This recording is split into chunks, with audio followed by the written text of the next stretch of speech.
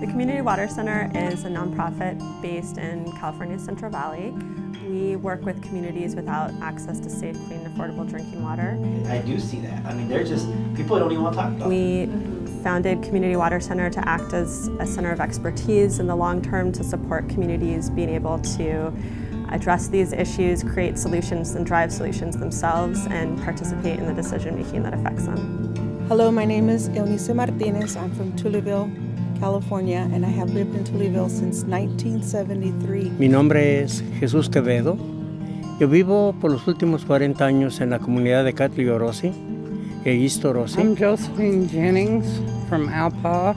I could say since 1990s we've had issues with our water. And whenever I first moved into Alpaugh, the first time I took a shower, I had to hold my breath because the stench was so bad and the water was just awful. It looked horrible. Me and my mom, we just decided about 1995 to stop drinking the water there. Que hace dos años se murió un hijo mío a consecuencia de, del agua, trabajando él en el agua, allí regando con los pesticidas, fertilizantes, todo esto, y a él le provocó una enfermedad y en seis meses se murió.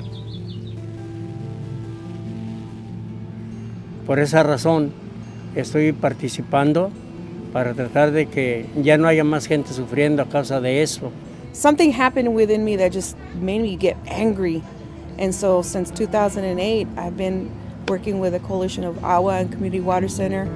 In addition to the systemic change, we have seen really concrete changes in communities. So communities like Seville now have safe water where they didn't for over 10 years. Um, we're seeing schools and daycares have access points.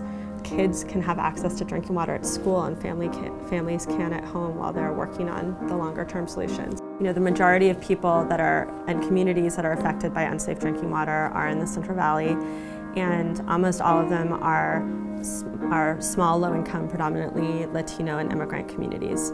In order to get to a place where all communities have access to safe, clean, and affordable drinking water, we have to build the power of communities that historically have not had access to that.